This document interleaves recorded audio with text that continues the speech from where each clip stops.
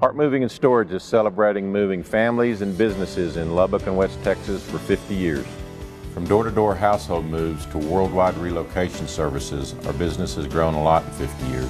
The success of our business would not be where it is today without you, and we want to say thank you as we celebrate 50 years of serving Lubbock and West Texas. Our tradition of quality moving and storage is still and always will be our number one priority.